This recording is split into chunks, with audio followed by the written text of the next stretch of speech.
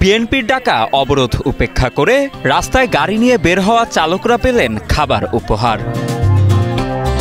নোয়াখালী চার আসনে আওয়ামী লীগের দলীয় মনোনয়ন প্রত্যাশী ও জেলা আওয়ামী লীগের সিনিয়র সহসভাপতি অ্যাডভোকেট শিহাবুদ্দিন শাহিন গাড়ি চালকদের হাতে খাবারের প্যাকেট তুলে দেন। একই সঙ্গে তিনি চালকদের বিএনপি জামায়াতের হরতাল, অবরোধ উপেক্ষা করে গাড়ি চালানোর আহ্বান জানান।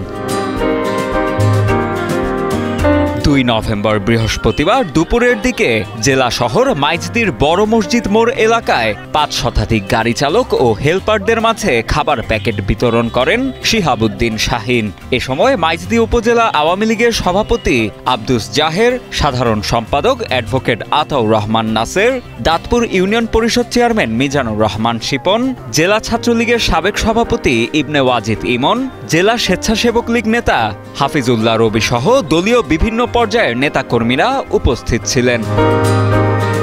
হরতালের পর ঢাকাসহ সারা দেশে বিএনপি ও জামায়াতের ডাকা টানা তিন দিনের অবরোধ কর্মসূচি থাকলেও নোয়াখালীতে তেমন কোনো প্রভাব লক্ষ্য করা যায়নি। নোয়াখালীর রাজপথে অবস্থান নিয়েছিল আওয়ামী লীগের নেতাকর্মীরা। বৃহস্পতিবার সকালে আব্দুল মালেক উকিল প্রধান সড়কে অবরোধ ও বিএনপি জামায়াতের নৈরাজ্যের প্রতিবাদে বিক্ষোভ মিছিল শেষে শান্তি সমাবেশ করে নোয়াখালী জেলা আওয়ামী লীগ।